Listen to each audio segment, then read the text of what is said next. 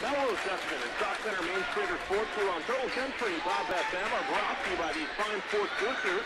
Dairyland Supply, Arvin, Coburn's Incorporated, the Engelmeyer on the outside. Can't shoot. Off to Connor Anderson.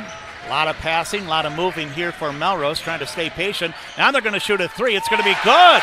Josh Klophocky shoots a three, and he makes it. Now a backdoor cut. No, Meyer has to come back out with it. Carson Meyer on the dribble and sets it outside to Gore Rui. Stepping through again. Another floater is up and good again for Wow. Gore Rui, a basket. Hunter Goyle with good defense, and Melrose has it off the miss. The Dutchman come back. Connor Anderson can't drive through. Rui back to Goyle. He's going to shoot a three. It's going to be good. Hunter Goyle hits a three point basket for Melrose. Melrose ball now. Trailing by eight again.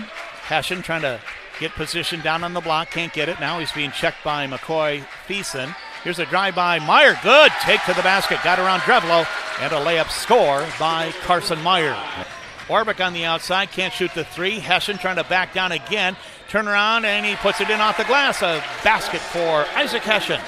Thiessen drives down. He might have to get rid of it, which he does, avoiding the fight. Oh, here's a steal. Engelmeyer took it away from Shermer from behind. Engelmeyer comes down. His layup is going to be good. Melrose will score.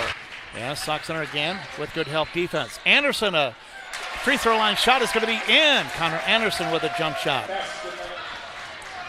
Hessian trying to post up down low. Engelmeyer fakes, drives, shoots from the free throw line, and he puts it in. So two baskets for the two sophomores for Melrose to start the second half. 37 31 Sauk Centre. First time they played, Melrose won by seven. Meyer with a runner that goes in. A basket for Carson Meyer. Newbert always on the move, trying to. Well, here's a steal. Drevlo's pass was taken away by Meyer. His layup is going to be in, and he's fouled. Three point try coming up here for Carson Meyer. And they can't get it to him. Here's Engelmeyer. Can't get by Drevlo. Meyer's going to shoot a three. It's good. Three point basket for Carson Meyer. And he's done a really nice job. I mean, one would say well, Newbert's got 20, but I think he Orbick has done a very nice job on him. Rui for three. Good! Gore Rui knocks down a three for Melrose. Shermers with his second. Pass in for Melrose. Rui with a short jump shot, but his short one was good because it came to his teammate Connor Anderson and he puts it in. Sauk Centre showing zone for the first time here. Rui has it in the far corner, so little different look for Sauk Centre defensively. Rui back out to Engelmeyer, wide open three, good. Now, you can't leave that shooter open like that if you're Sauk Centre.